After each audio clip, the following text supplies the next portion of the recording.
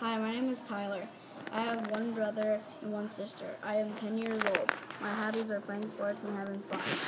I wrote this book about New Jersey for this project. Like I said in the beginning, I was born there and I want to learn more about it, and it seems like an interesting state.